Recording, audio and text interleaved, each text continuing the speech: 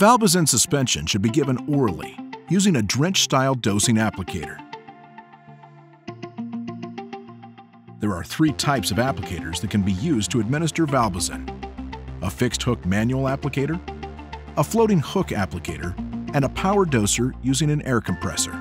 We will assemble the fixed hook applicator. Place the second hose armor spring over the unattached tubing.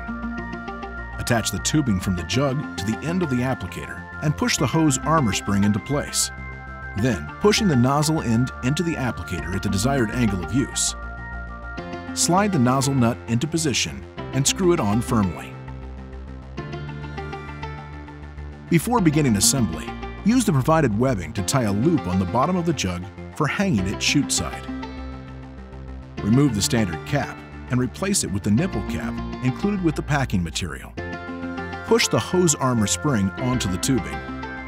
Then attach the tubing to the nipple cap, pushing the hose armor spring into place at the end of the tubing. The assembled Valbazen jug needs to be hung upside down at the chute. To prime the applicator, first set it to the maximum dose. Point the applicator upward and prime by squeezing the handle until all the air has been expelled from the barrel. For larger cattle and horned breeds, you may want to use a floating hook applicator. To use the floating hook, just remove the fixed hook and replace with the floating hook and tube. The floating hook is a two-handed application with one hand on the hook and another on the applicator.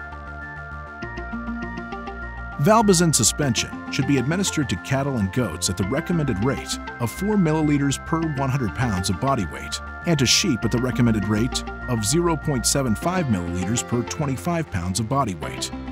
Refer to the chart on your Valbazen suspension bottle for additional dosing information. As an example, let's assume we have a 500-pound calf. Divide the total weight by 100 because the dosage is per 100 pounds of body weight.